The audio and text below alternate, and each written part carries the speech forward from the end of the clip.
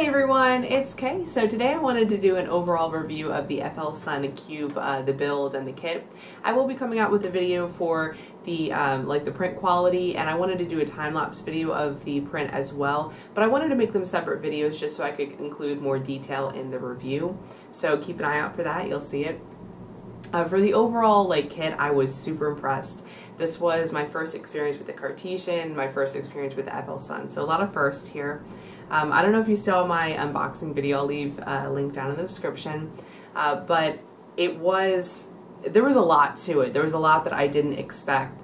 Uh, for instance, they had like two of these little PLA, uh, I mean, uh, they're larger than, than samples, but two spools like this, so mini spools, I guess you could say. They also included an SD card that was loaded with all the software needed, um, with Repetier, um, with your manuals, with everything that was needed. Also a USB to SD card adapter, which is great. I, I love that because I'm like, I can continue to use this. I don't need it just for the kit. So I feel like it really sets you up for success with 3D printing.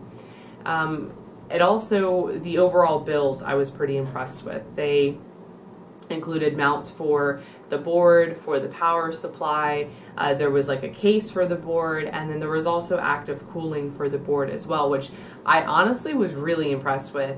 I've had issues with um, my Kossel XL with the board overheating, and I haven't seen a lot of 3D printers that have active cooling for the board. So there's two little fans on there. I'm sure you can't see them. um, but there are two little fans on there that actively run and cool the board so I'm really impressed with that. I know that I'm not gonna have to worry about the board overheating and that's honestly a weight off my mind. I did want to mention um, there it came with a piece of paper that said that there was a video tutorial. I was not able to find that video tutorial. I looked on YouTube um, and I also looked through the SD card and I wasn't able to find it anywhere uh, but I didn't need it at all. Uh, the tutorial that it came with was um, in a PDF. It was all photos, um, and it was really easy. I mean, there were some, I, I would say there's a little translation issue, but it really was pretty simple to understand, especially with the photos. The photos were really helpful. I think it was honestly, in some cases, better than a video tutorial. I have followed video tutorials in the past, and you kind of have to pause them and go back, and pause them and go back. And I think in this case, the photos were a lot better and a lot easier than a video tutorial. Overall, I'd say the build took maybe 15, 16, 17 hours. Um, I think it would be a great weekend project. And I think it would probably be pretty good for beginners. It wasn't necessarily hard to build at all. Um, I think it was pretty good. Now, as far as any problems I'd have, because I have heard some people had some issues. I did have, the only real issue I had, let me say, this is the only issue that I really did have. I did have an issue um, with these metal beams, that both of them, that supported the heated bed. I think they're supposed to have three holes, one for each screw hole on the, uh, the plexiglass here. Um, that's at least what it shows in the, the photos. Mine only has two, and I had a lot of issues getting the photo, or I'm sorry, getting the holes lined up.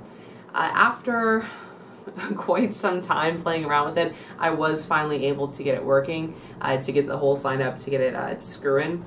Um, so, you know, I was able to get everything corrected. Now, I have heard of some people had issues where some parts came the wrong size or that kind of a thing, but they were able to ultimately get it corrected.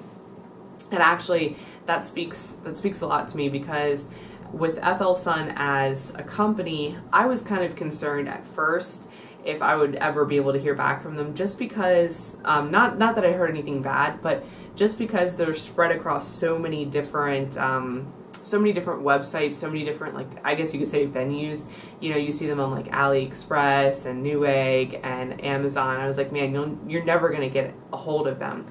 So I've seen everywhere, like throughout the kit, throughout the SD card, throughout the manual, and then, you know, in just talking to people that anytime there's an issue, you can reach out to them and they'll correct it. And I've heard that it actually has been corrected for a lot of people. So that really instills confidence, even though I didn't necessarily have anything that needed to be corrected. Um, I wanted to talk about the auto probe as well. So I was concerned about the auto probe I wanted to try one for sure. I had heard a lot of good and bad things about them.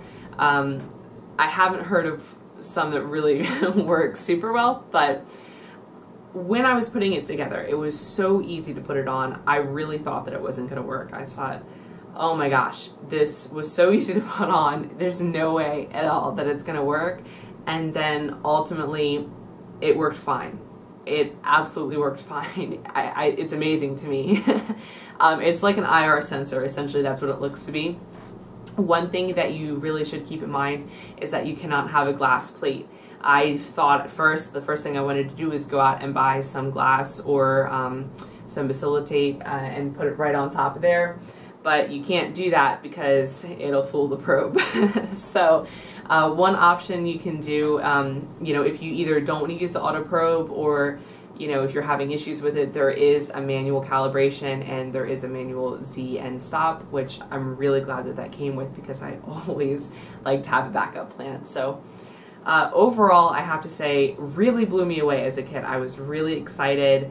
Everything that it came with, I just really feel like all of everything was taken care of. Um, I don't know, I was just so excited. I think it's a great build. It would be a great first printer for someone I think it really was as easy as you can get it as as um, as issue free as you can get it. Everything was taken care of. You know, you don't have to worry about updating this or going out here trying to find the latest version of this or anything. It was all taken care of for you in one kit and stress free. that's that's as stress free as 3D printing can get, I would say.